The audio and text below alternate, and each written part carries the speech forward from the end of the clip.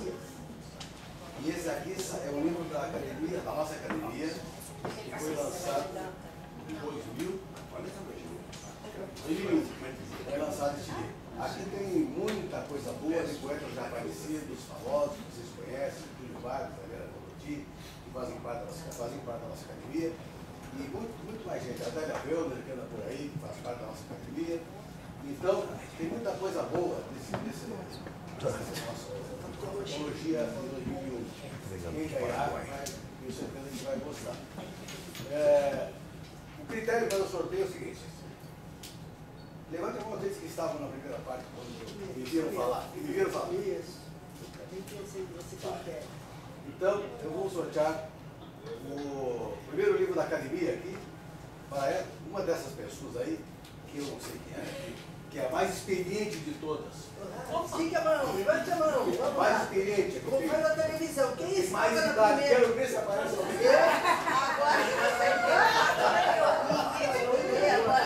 Maior de idade.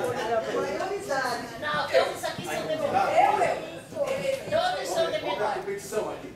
Vamos Não lá. precisa dizer. Todos são de menor. Sete a dois. Vou deixar essa aqui, está. Chegou primeiro, né? É, Meu E o pai, meu livro essas aqui, três aqui, chegou. pararam duras. Essas três não pararam de prestar Já- uma atenção danada hoje. eu aquela evidentemente que a menor idade, foi daquelas pessoas que estavam aí.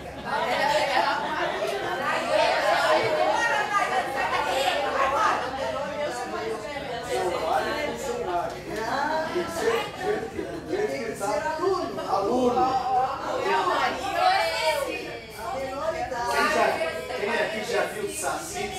Ah? Ah, e Garibaldi. Quem já viu? Quem já viu? Olha a criação do Olha o cara. autor da lei. o Carnavalesco. é. Eu faço parte, eu sou fundador do Garibaldi Sacis. Eu sou do camarada carnaval, né? Aqui no município. Eu sou fundador. Eu sou um dos grupos que andava na rua, meia dúzia de malucos, né, carregando um carrinho na, no horário da hora. E quando a coisa era difícil, agora é fácil, agora dá 20 mil pessoas, né? Mas era, quando era difícil, eu estava lá. E fiz o hino. E pediram um hino, saiu o hino do Garibaldi. Bom, então quem será que tem a menor idade daquele grupo? Todo mundo.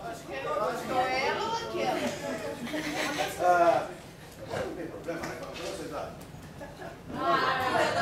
Menor idade. Quatro horas imagina.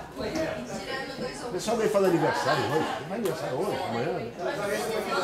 Eu acho que seria a maioridade, agora ninguém quer falar a na primeira parte. Ela tem ela tem bolso, não sei, né? Quem conseguiu?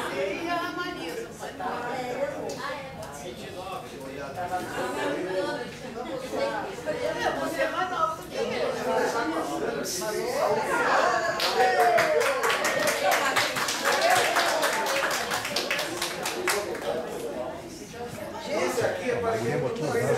Os outros dá ponto, dá ponto. Não tem.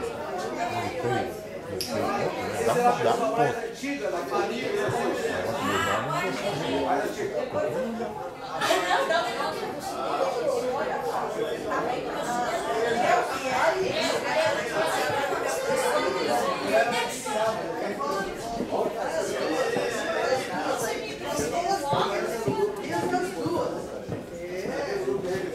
quer ficar até a hora do futebol, se eu quero buscar seis horas.